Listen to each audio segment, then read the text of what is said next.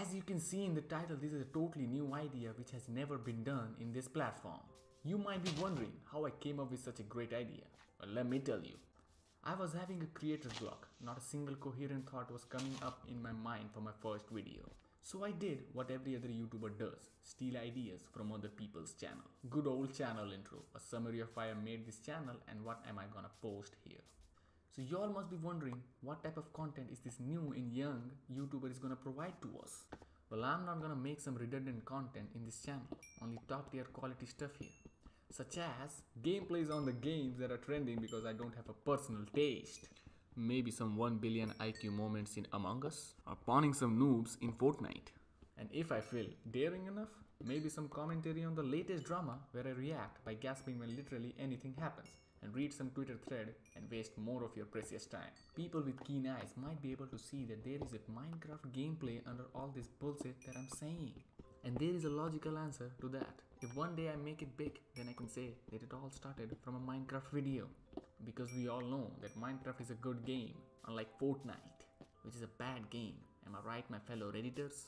I can't believe people are still playing that normie kids game.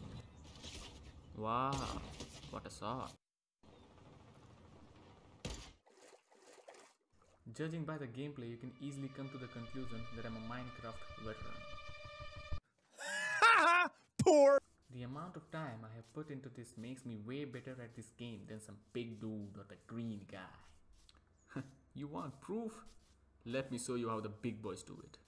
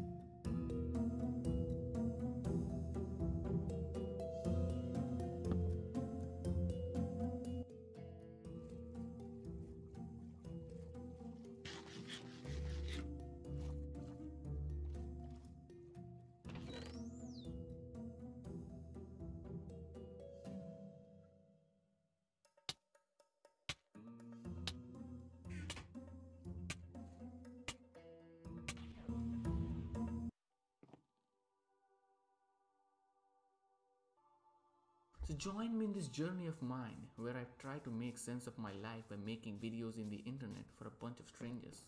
Ah, it's almost done. Wait, what other things do YouTubers usually say in the end of their video? Oh yeah, like and subscribe.